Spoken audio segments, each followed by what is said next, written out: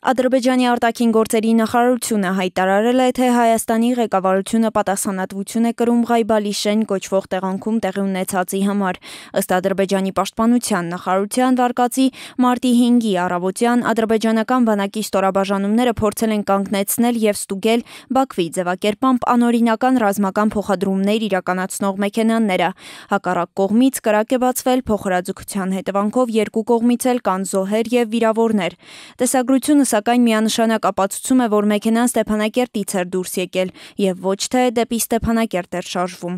Դե իսկ զենք տեղափոխելու առասպելը ոչ մի քննադատության չի դիմանում։ Ադրբեջանի պաշտպանական գերատեսչության տարածած հայտարարության մեջ սակայն ճշմարտության մի դրվագ կար։ Բաքուն գուցե ակամա խոստովանեց, որ այդ հարձակման ընթացքում նաև զոհեր ու վիրավորներ է ունեցել։ Սակայն դրա հետ մեկտեղ անպատասխան են մնում հարցերը, թե զինված ադրբեջանցիները ինչպես են անպատիժ հայտնվել միջանցքում։ Արձագանքել է նույն օրը մարտի 5-ին Ադրբեջան ժամանած Հարավային Կովկասում Եվրամիության հատուկ ներկայացուցիչ Տոյվո Կլարա։ Այսօրվա մահացու միջադեպը ընդգծում է կայունության եւ արդար խաղաղության հասնելու համար բանակցություններում առաջընթացի կարեւորությունը։ Twitter-յան միկրոբլոգում գրել է Կլարա։